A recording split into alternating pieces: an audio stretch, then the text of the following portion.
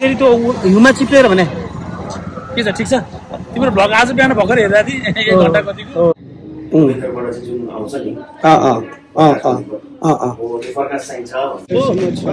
ल तपाईँले त्यही गर्नु। रेडिएटर छोएको छैन। छैन। रेडिएटर त भित्र हुन्छ यो इन्टरकुलर हो यो। टर्बो जुन र प्यारीलाई लास्ट भिडियोमा हजुरहरूले हिजो यहाँ ल्याएर पार्क गरेको थिएँ। र हाम्रो इन्डिया ट्रिपको नेपाल टु इन्डिया ट्रिपको भिडियो हिजो बेलुका लास्ट भिडियोमा हजुरहरूले इन्ड भएको देख्नुभएको थियो। र जुन अब ठोकिएको छ प्यारीलाई ठिक गर्नु छ त्यसको लागि भने नि मैले इन्सुरेन्स हामीले गरेका हुन्छौँ। र इन्सुरेन्सले के कस्तो बेहोर छ? इन्सुरेन्स हाम्रो हेटौडामै रहेको सानीमा जिआइसी जुन सानीमा बैङ्कको माथिपट्टि रहेको छ। र यो ट्रिप बी पनि सडतिस सय नब्बे किलोमिटर हिजो यहाँ हेटौडा घरमा आएर इन्ड भएको थियो सडतिस नब्बे किलोमिटर दौडेको थियो। त्यसैको लागि अब इन्सुरेन्समा मैले फोन गरेको थिएँ गाडी लिएर आउनु हामी हेर्छौँ फोटो खिच्छौँ र हजुरहरूले हजुरले त्यतिखेर ठोकेको बेलाको फोटो खिच्नु भएको छ कि छैन भन्नुभएको थियो। त्यो त हजुरहरूले भिडियो हेर्न पाउनुहुन्छ मैले कसरी ठोक्यो के भएर ठोक्यो सम्पूर्ण म युट्युबमा भिडियोहरू हाल्छु। हजुरले त्यहाँ पनि हेर्न सक्नुहुन्छ मसँग भिडियो पनि छ भने मैले। र जाँदैछु त्यहाँ खानासाना खाएर एघार चौन्न मजाले आफ्नो घरमा जस्तो निन्द्र भनिहाल्यो नि। आनन्दले निदाइयो। र हेलो नमस्ते गुड मर्निङ अनि सुस्वागत मेरो च्यानलमा हजुरहरू सबैजना फेरि पनि भव्य रूपमा स्वागत गर्न चाहन्छु र आशा गर्छु हजुरहरू सबैजना सन्चै हुनुहुन्छ होला भन्ने र आशा गर्छु हजुरहरू नयाँ हुनुहुन्छ मेरो च्यानलमा र यो भिडियो हजुरलाई पहिलो हो भने सब्सक्राइब गरेर जोडिसक्नु भयो र मेरो नेपाल टु इन्डिया ट्रिपको भिडियोहरू सम्पूर्ण भिडियोहरू हेरेर हजुरले मनोरञ्जन साथसाथै इन्फर्मेसन साथसाथै मसँगै मनाली गएर अनि बरफ त्यहाँको स्नोफललाई इन्जोय गर्नुभयो होला र इन्डियाको रोडमा प्यारीलाई दौडाएको हजुरहरूले सँगै मनोरञ्जन लिएर अनि फेरि हिजो हेटौँडा आएर हामी सँगै आएर इन्ड भएको थियो हाम्रो ट्रिप नेपाल टु इन्डिया ट्रिपको भिडियो भन्ने। र अब मैले भनिहालेँ प्यारीलाई स्टार्ट गराएको छु भर्खरै। एकछिन दुई मिनट जति छोडिदिउँ अनि प्यारीलाई ब्याक गरेर अनि हाम्रो शीतलमहल चोकमा अलिकति अगाडि सानीमा बैङ्क रहेको छ हेटौँडा चार अन्तर्गत यो हेटौँडा पाँच हो हेटौँडा चार अन्तर्गत। सानीमा जिआइसी सानीमा बैङ्कको माथिपट्टि सानी सानीमा जिआइसी जुन इन्सुरेन्स रहेको छ त्यहाँ गएर एकचोटि सर्वेयर त्यहाँ भनौँ न सर जसले सर्वेयर हुनुहुन्छ उहाँले हेर्नुहुन्छ अनि हेरेर के कस्तो हुन्छ म हजुरलाई अगाडि अपडेट दिने नै छु पक्कै पनि।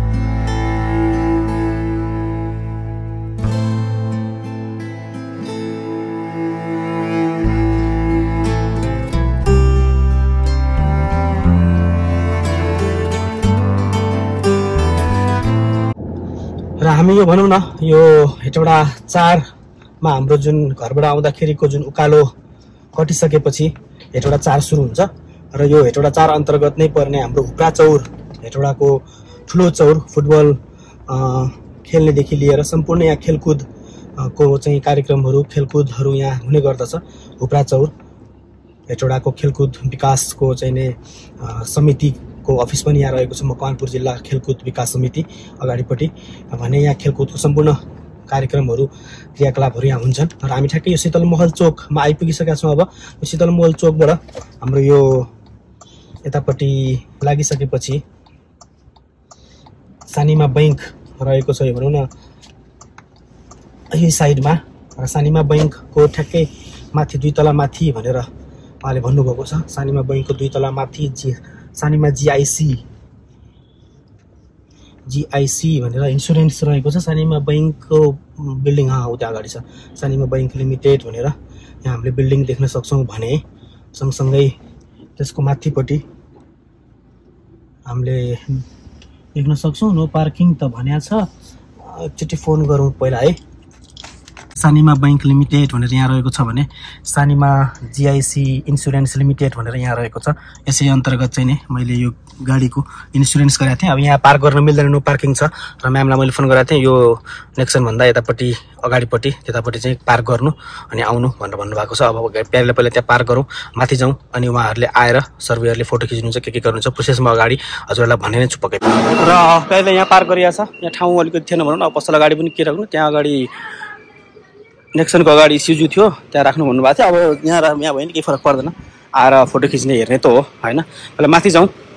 अब सायद एउटा निवेदन पनि चाहिन्छ होला कि के चाहिन्छ? अनि त्यो प्रक्रिया अगाडि बढाउँला।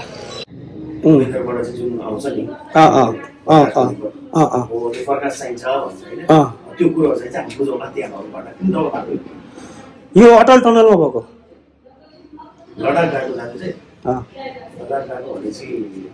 लडाक गएको जानु चाहिँ अँ लडाक गएको भने चाहिँ बनाए चाहिँ हामी गएर फोटो खिचिदिन्छौँ यो चाहिँ जुन छ नि यो जस्तै यो खुल्ला थियो होइन खुल्ला भएको भएर अनि अब यो उहाँबाट यहाँ आउन त सकिँदैन। त्यो भएर त्यही भएर मैले यो चाहिँ लगाएर राखेको। किनभने अब यो त खुल्ला भएपछि त फेरि तपाईँको हल्लिन्छ हावामा होइन? हावामा हल्लिएर फेरि यो अर्को ड्यामेज होला भनेर यो यसलाई चाहिँ मैले यहाँ यो न यहाँसम्म ल्याउन सकियोस् भनेर यो लगाएको छु है यो एउटा कुरा चाहिँ।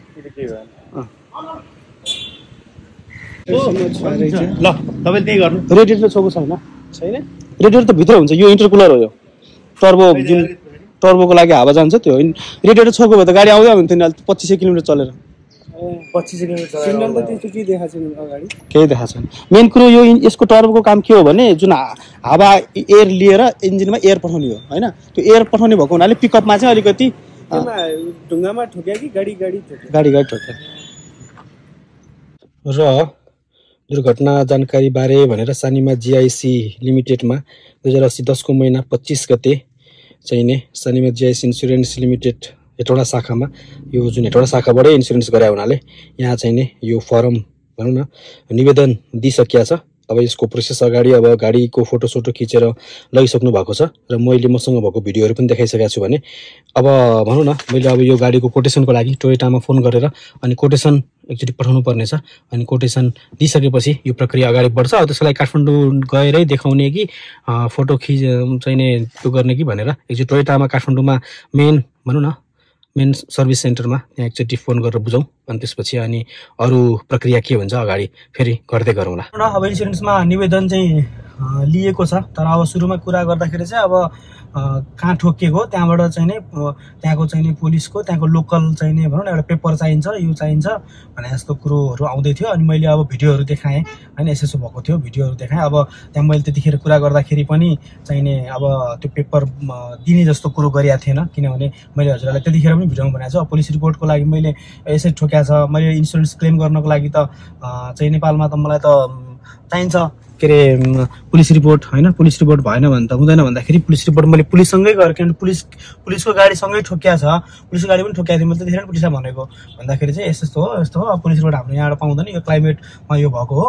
अब चाहिँ नि पुलिस रिपोर्ट भनेर त्यसरी हुँदैन। पुलिस रिपोर्ट गर्नलाई कसैले क्लेम गर्नु पऱ्यो कसैले चाहिँ त्यो भएको पुलिस चाहिँ रिपोर्ट भएको भए पो चाहिँ नि गाडी ठोकेको पुलिस रिपोर्ट हुन्छ भनेर चाहिँ नि त्यो त्यो गरिया थिएन। र मैले त्यही भनेको पुलिस रिपोर्ट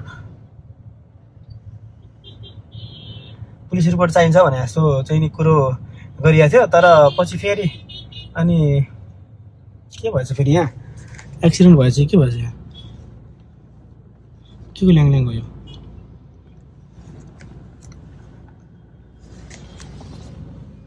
एक्सिडेन्ट भयो जस्तो लाग्यो। ठुलो एक्सिडेन्ट भएछ क्या? के भएछ यहाँ? के भयो। म इन्डिया गएको थिएँ तिमी इन्डिया गएको भ्लग हेरिरहेको थिएँ त मैले। त्यही उता आउँदाखेरि त्यो हिउँमा चिप्लेर भने। के छ ठिक छ? तिम्रो भ्लग आज बिहान भर्खर हेरिरहेको थिएँ एक घन्टा कतिको। कहिले आएको? म हिजो बेलुका आएको। त्यो त यहाँ एक्सिडेन्ट भयो त्यही भएर यसो हेर्न। ठुलै एक्सिडेन्ट भएछ क्या ठुलै भएर हाम्रो आफन्त पर्छ कि भनेर यसो हेर्न आएको। ल ल ल ठिक छ ठिक छ। यहाँ एक्सिडेन्ट भएछ ठुलै यहाँ यस्तो। यहाँ भएको छ। ठुलै एक्सिडेन्ट भएछ यहाँ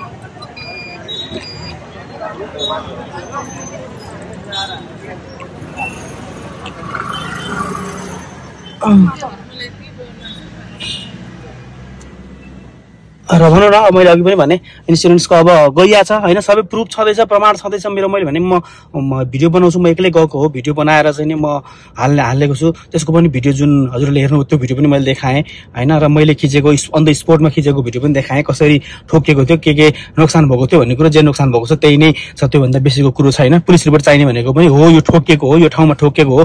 भन्नको लागि एउटा प्रमाणको लागि चाहिने त हो होइन? एउटा प्रमाणको लागि चाहिने हो पुलिस रिपोर्ट भनेको। नत्र भने पुलिस रिपोर्ट पुलिस रिपोर्ट किन त भन्दाखेरि पुलिस रिपोर्ट एउटा अथो अथोराइज पेपर हुन्छ। अथोराइज चाहिने एउटा हुन्छ भन्नको लागि नै पुलिस रिपोर्ट चाहियो हो। यो गाडी ठोकिएको हो यहाँ ठोकिएको हो भनेर चाहिने एउटा जेन्युन चाहिने हुन्छ। त्यसमा चाहिने कुनै त्यो हुँदैन भन्नको लागि भनौँ न।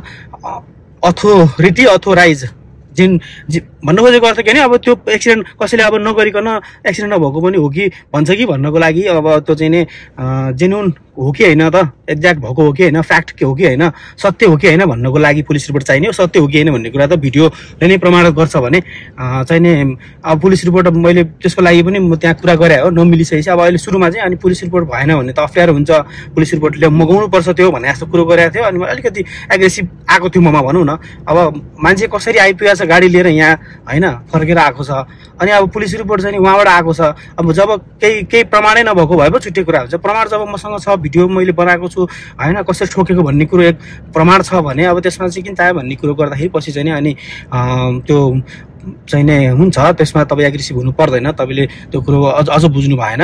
त्यसको लागि त अब तपाईँ यहाँ आइसक्नु भएको छ फेरि चाहिँ त्यति टाढा अब पुलिस रिपोर्ट नल्याइकन हुँदैन भन्ने त हामीले भन्ने कुरै होइन तर पुलिस रिपोर्ट चाहिन्छ भन्ने कुरा भनेर पछि चाहिँ अनि त्यो अनुसारको नर्मल कुरा भयो र निवेदन दिएको छु। अब निवेदन दिएर अब कोटेसनको लागि जानु कोटेसन कति कतिको इस्टिमेट कस्ट निकाल्नु भन्ने जस्तो कुरो आएको छ। त्यसको लागि पनि अब टोयोटामै काठमाडौँ जाने कि अब यहाँबाट चाहिँ फोटो पठाएर त्यसको कस्ट इस्टिमेट इस्टिमेसन भनौँ न इस्टिमेट निकाल्ने कि के गर्ने त्यो अब अगाडि म गर्ने नै छु हजुरहरूलाई अपडेट म दिने नै छु पक्कै पनि।